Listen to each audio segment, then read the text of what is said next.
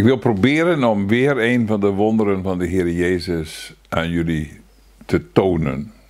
Maar je kunt zelf ook kijken. En ik hoop ook dat je dat doet, want het staat echt in de Bijbel. Ik hoop ook dat dat helder is in deze hele serie, dat we het echt vanuit de schrift gaan vertellen. En nu gaat het over Johannes 5, deze keer. En in Johannes 5 staat een heel bijzonder wonder van de Heer Jezus. Ik ga een klein stukje van voorlezen. Daarna was er een feest van de Joden en Jezus ging naar Jeruzalem. En er is in Jeruzalem bij de Schaapspoort een badwater dat in het Hebreeuws Bethesda wordt genoemd, met vijf zuilengangen. Daarin lag een grote menigte van zieken, blinden, kreupelen, verlamden, die wachten op de beroering van het water. Want een engel daalde van tijd tot tijd neer in het badwater en bracht het water in beweging. Wie dan het eerst daarin kwam, na de beweging van het water, werd gezond aan welke ziekte hij ook leed. En er was een man die al 38 jaar ziek was. Jezus zag hem liggen en omdat hij wist dat hij al lange tijd ziek was, zei hij tegen hem: Wilt u gezond worden? Nu stop ik met lezen, maar eigenlijk moet je gewoon doorlezen. Iedereen weet van deze gebeurtenis. Het merkwaardige is, bepaalde wonderen zijn niet zo vaak herhaald in de prediking of in boeken, maar dit wonder altijd. 38 jaar, Jeruzalem. Jeri, Jeri, Shalom. De Heer voorziet in vrede. En daar bij de poort, de schaapspoort, daar was een ziekenzaal. Nu ben ik bijna geneigd om je mee te nemen naar het boek Nehemia. In Nehemia liggen al die poorten een beetje in ongebruik. Sommige zijn echt kapot, andere die worden niet meer gebruikt, maar die zijn nog wel heel. Maar als het op herstel aankomt in het boek Nehemia, dan begint het bij de schaapspoort, bij de poort die hier genoemd wordt dus. Nu was de schaapspoort niet een poort waar uh, de kudde uh, naar buiten geleid werd. Want in Jeruzalem waren geen kuddes. Er was ook geen ruimte voor, er is helemaal geen graspietje bijna te vinden. Alles op elkaar en bovenop elkaar gestapeld. Die schaapspoort werd bedoeld om schapen van buiten naar binnen te brengen. En dan kunt u twee dingen vragen. Waren die schapen voor consumptie van mensen bedoeld? Dat kan ook zijn, dat is niet onmogelijk. Maar het was vooral dat vanuit Bethlehem schapen en, en lammeren werden aangevoerd om geofferd te worden. Het was eigenlijk de aanvoerroute voor de offerdieren. En nu lag daar een menigte van zieken, kreupelen, verdorden. Ik ga een hele rare kronkel maken, voor u misschien. Maar ik probeer te zeggen, als het om het offer gaat, als het om iets aan God aanbieden gaat, als het om aanbidding gaat, dan denk ik dat er hele grote ziekenzalen liggen en dat er bijna niks gebeurt. In Nehemia 3, waar de herstelwerkzaamheden van die muur en van de poorten beschreven wordt, is als eerste deze schaapspoort aan de beurt. Ik geloof ook dat bij elke opwekking, van welke kant je erop bekijkt, de schaapspoort een bijzondere rol moet spelen. Eerst de Heere een offer brengen. Eerst de Heere zijn deel geven. Hem aanbidden. Hem groot maken. Niet van wij willen, wij moeten, wij liggen in puin, wij hebben zorg, wij hebben dit. Wij zijn ziek, maar eerst Hem aanbidden, Hem groot maken. De Vader zoekt aanbidders. De Vader zoekt niet uitleggers zoals we nu op dit moment doen. Hij zoekt toch geen evangelisten, hij zoekt ook niet die sterke lui die puin kunnen ruimen. Hij zoekt aanbidders. De Vader zoekt, zei de Heer Jezus, hij zoekt aanbidders, mensen die hem iets vertellen over wat voor hem waardevol is. En als je dat op een lijstje zet, dan blijft er maar één punt over en dat is de Heer Jezus. Dat is voor hem waardevol. Zijn werk, zijn persoon, zijn heerlijkheid overwegen. Schaapspoort. Nu ligt er bij die schaapspoort een meneer al 38 jaar. Het is eigenlijk al een hele tijd zo. Natuurlijk zijn er allerlei parallellen getrokken in de loop van de tijd. Van waar staan die 38 jaar voor? Nou, misschien wel voor de uh, woestijntocht. Dat was ongeveer 38 jaar door de, door de woestijn getrokken, door Mozes. En 40 jaar zult u zeggen, ja, nou dan gaat het een beetje vooraf en dan gaat het een beetje aan het eind. Maar er blijft dus ook 38 jaar over. En er zijn ook andere parallellen getrokken. Maar die man is ziek. En nu was er één plekje daar waar kennelijk zo nu en dan het water in beroering of in beweging werd gebracht door een engel.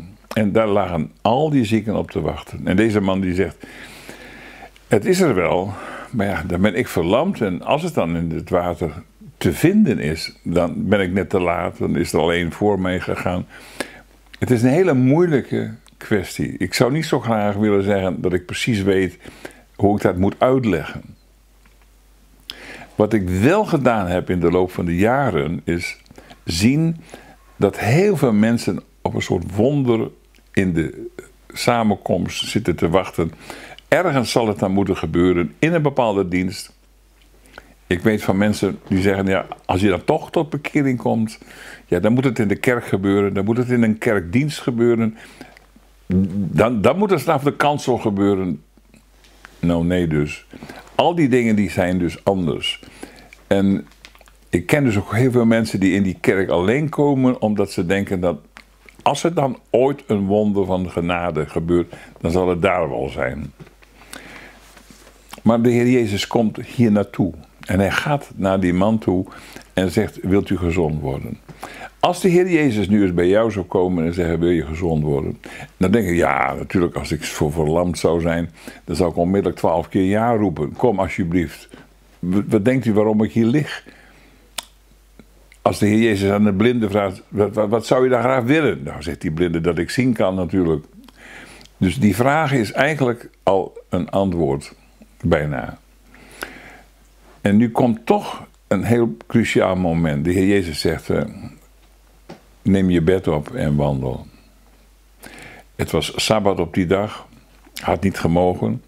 Je zou normaal gesproken gezegd hebben: die man die moet gezegd hebben: Ja, heren, het is nu sabbat, dat, dat, kan niet. Ik, ik, mag niet eens mijn matrasje optillen. Ik mag geen, niet eens, dat is nu nog zo, een, een lichtknopje aanraken waardoor het lampje gaat branden. Dat moet automatisch geregeld worden. Dan zou het wel mogen. Of een lift. We hebben dat verschillende keren meegemaakt dat je in een hotel bent. Dat de lift vanaf vrijdagavond uh, zo laat niet meer bediend wordt door de knopjes die je indrukt, maar gewoon automatisch. Uh, etage 1, 2, 3, 4, even tot 12 en dan weer terug. Of, of nog meer etages. Dat mocht dus niks. De meeste wonderen van de Heer Jezus zijn waarschijnlijk op de Shabbat, op die Shabbat gebeurd. Heel veel. Als u erop let, daar strikt u ervan. De dag van rust zou je kunnen zeggen. Maar daarvan zegt de Heer Jezus: Mijn vader werkt tot nu toe en ik werk ook. Hij heeft juist die dag van rust gebruikt om mensen die zo ver weg waren van de zegen van Jahweh, om die in die zegen te tillen. De dag van rust was uitrusten nadat het werk volbracht was. Ze hadden zeven zes dagen gewerkt en de zevende dag was een rustdag. En wat is het fijn als je kunt rusten in dat werk wat volbracht is, wat al gedaan is.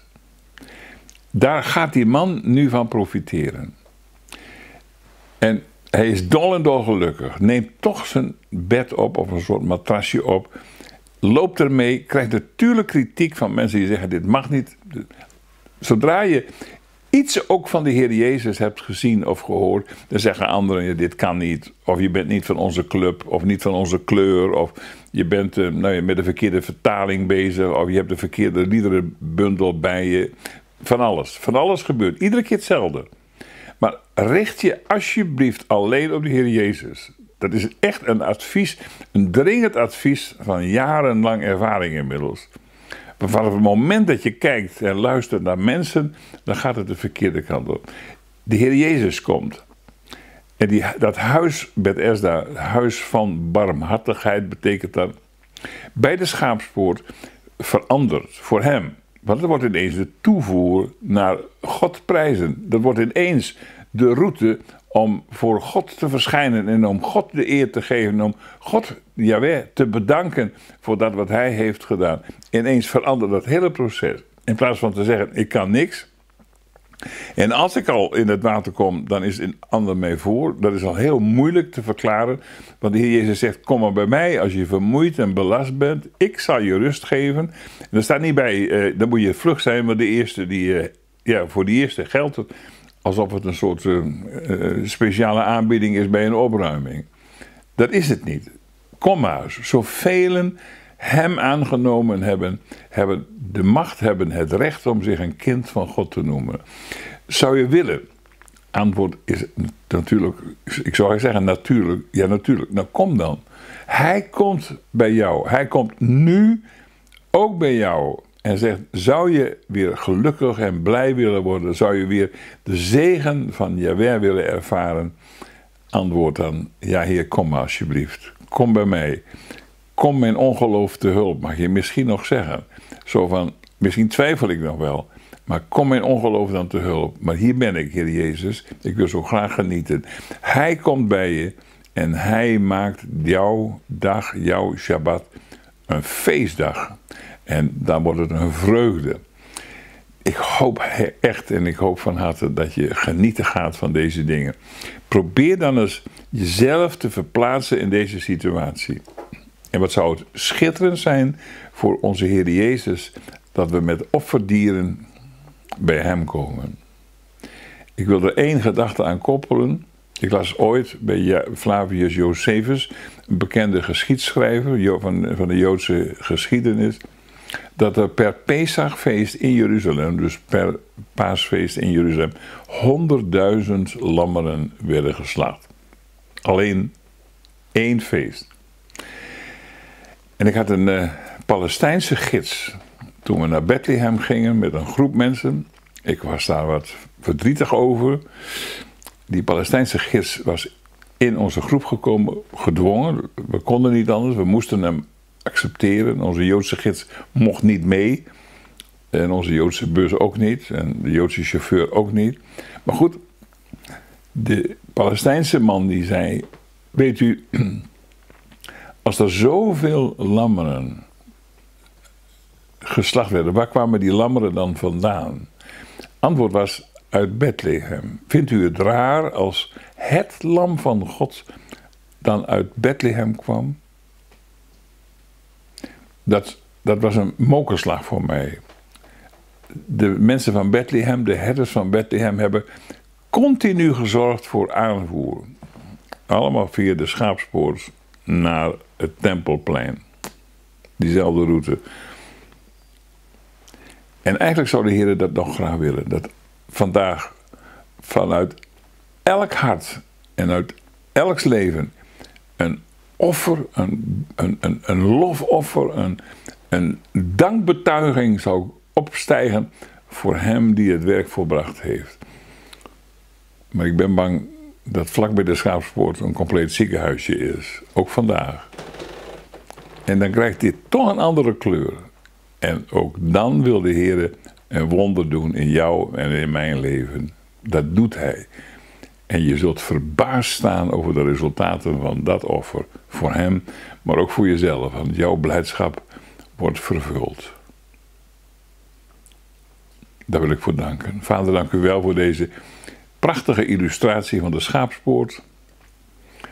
Waarbij toen, als het ware, een menigte van, van, van zieken, verlamden, verdorden, kreupelen en blinden te vinden was.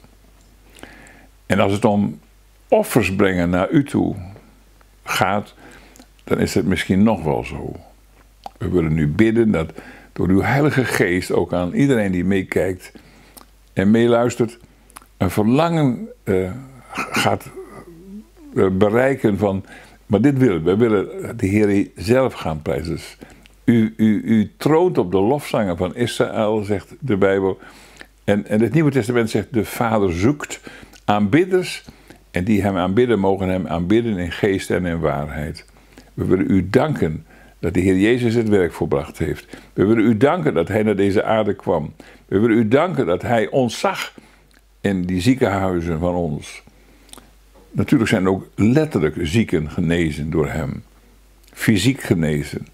Maar er zijn ook in overdrachtelijke zin zoveel mensen, wat het geloof betreft, beschadigd of gedeukt of uh, ziek.